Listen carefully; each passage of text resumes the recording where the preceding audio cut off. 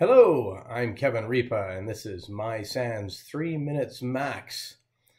In previous episodes, we've been talking about the acquisition of RAM and talking about how uh, critically important it is to grab the RAM uh, in, in an image if the machine is on when you discover it. Uh, I do want to talk about a few instances where you might not be grabbing the RAM uh, it's often that we get tunnel vision when we start thinking about doing something. And I don't want anybody walking away saying, you absolutely have to grab the RAM every single time. So let's talk about uh, some of the times when we don't have to grab the RAM.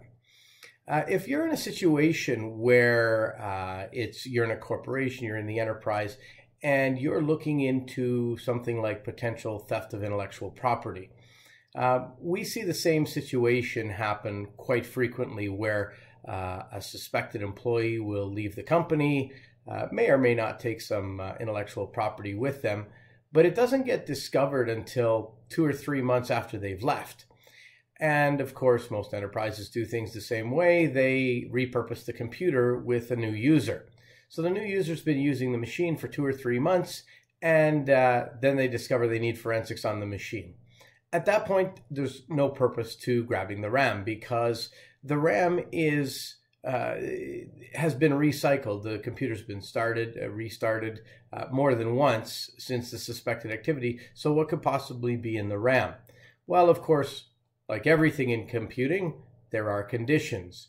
If it is suspected that potentially the uh, um, the user had left behind some kind of code on the machine, that might give them remote access, well, then it might be handy to have the RAM. Another reason that you might not grab the RAM, you get to the machine and you see something happening on the screen that is causing data to be trashed, mass deletion, something like that. Uh, it's going to do more damage to the data on the computer to leave it running. In a case like that, you pull the cord. Now, people say, ask about ransomware. Um, unless you can see the ransomware happening, which typically you can't, you'll never know until you're getting the error message or the uh, ransomware message that you've been hit by ransomware. Uh, and of course, probably the most important reason is life safety. If you're at the scene and there's something going on, I don't know, the building is burning, somebody's uh, going to beat you up, who knows what it is. If there's any kind of a physical threat, then of course we're not going to bother with the RAM, we're just going to grab and run. Uh, so I hope you've enjoyed our series on RAM. Tomorrow we're going to talk about checking for uh, encryption on the drive. So until then, have a great day.